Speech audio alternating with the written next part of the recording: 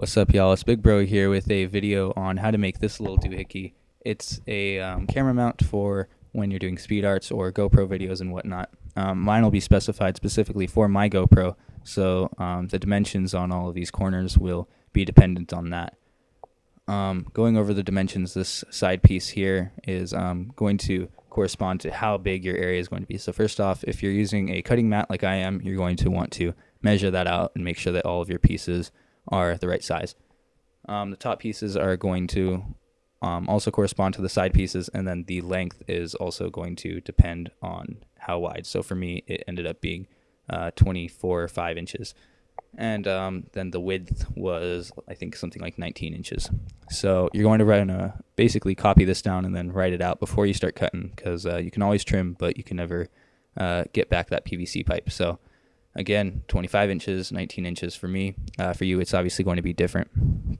So um, once you have it written down, then you're going to want to find out uh, this top piece, and it's going to depend on what type of camera you have. So for me, uh, using a GoPro, I have a wider field of view, so I might have to trim it up a little bit once I'm finished.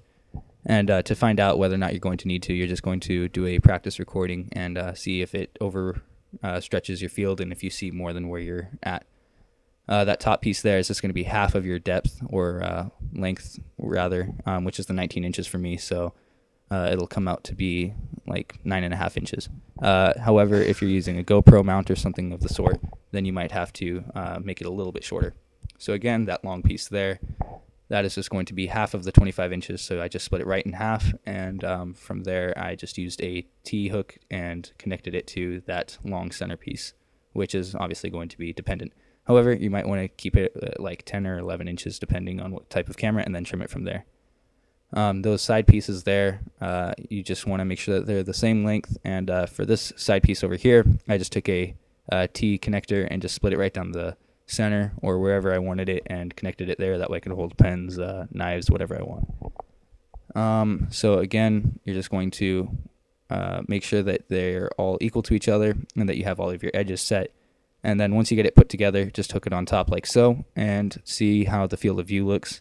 Uh, the center of the screen should be the center of the board. So if it's not, you're going to want to ju- adjust accordingly.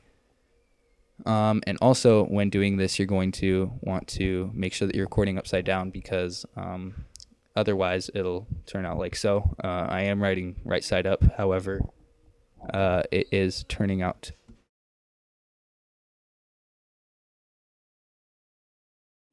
excuse me, turning out upside down. Um, so again, you're either going to want to adjust that in your editor or um, change that up on your camera like the GoPro has the settings to do. Um, other than that, you're going to want to make sure that the distance from your uh, recording area is right so that you are not getting too close to it and you're not capturing the full uh, drawing or you're too far away from it and you're capturing more than what you're wanting. Um, so for this top piece, I'm just going to show you a little technique that I used. It's basically just a PVC pipe with the GoPro mount, but um, although it was sticky, I really found it not to be sturdy enough. So I just took some uh, hot glue and uh, just did it around all of these edges and uh, really filled it up quite a bit. But uh, to make sure that it wasn't going to overflow and get all nasty, um, I just took a ice cube and rubbed it around the edges before it could drip down. That way, it wouldn't um, you know, it, it would stay uniform and uh, stay around that PVC pipe and the uh, little mount also. So I think that about does it for the video. I hope that you guys enjoyed it. If you have any questions or comments, please leave them below. And again, thank you for watching.